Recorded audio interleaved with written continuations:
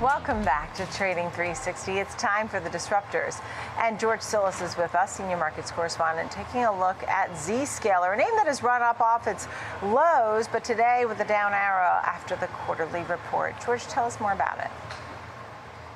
Yeah, I mean, I think uh, Zscaler's down today, Nicole, in sympathy with the uh, the overall market. There's been a lot of volatility and uh, a lot of technology names, and of course the market altogether. But Zscaler, uh, for those who don't know, it's really uh, an interesting company from the cybersecurity standpoint. It's basically cloud-based uh, internet access portal for remote workers. Uh, they actually have on-premise but also off-premise cybersecurity protocols and effectively workplace solutions for uh, for uh, internet access. Now, if you look at the report, it was actually pretty good from the standpoint of both earnings and sales. They actually reported a 64 cent increase uh, relative to the estimates, they beat it by about 14 cents, and that's about a double, if not a little bit more than the 25 cents they earned last year for the same quarter.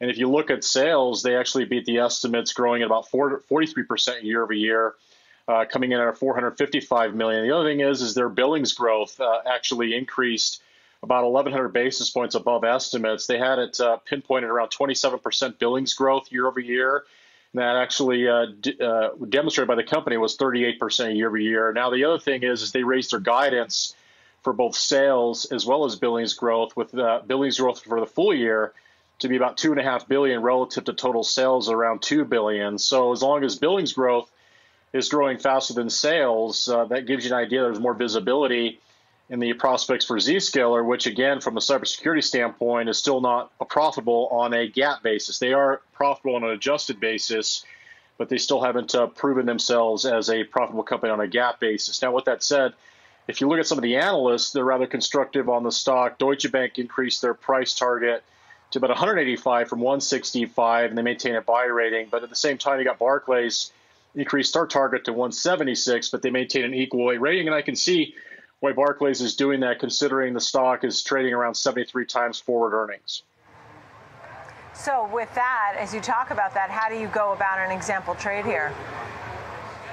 Well, so in this case, Nicole, we're just going to always is the case. Uh, we're going to take what the market is giving us. If you actually look at Zscaler, effectively it's been in a trading range in the last two years uh, between, of course, let's say 190 to 110. So it's been an $80 trading range, and it's sort of in the middle of that range. So we can capitalize on this because if you look at the report, uh, it was actually very good, but the stock isn't reacting very positively, and I think it's got some valuation issues, and maybe that's why the market is not pushing it higher. So with that said, we can continue to participate by uh, effectively trading in this trading range, and we'll actually sell an iron condor or credit combo going out to October monthlies and selling the 175, 185 call spread that's above the current price, and then of course below the current price will sell a 145, 135 put spread. Uh, altogether, you can sell it for about $3.50 a share or $350 a contract. So it's a $10 wide spread. Uh, your return is 350. Risk is, of course, uh, the uh, difference between the spread and the credit of 650. You're getting a, a basically more than 50% return on risk. And what we're doing in this case is we'd like to see the stock, uh, ideally speaking, in the next 44 days stay below the short strikes, 175 to the upside and 145 on the downside, which is about about $15 give or take up or down. Understood. George Tsilis, our disruptors every single day and today's Zscaler. Thank you very much, George Tsilis.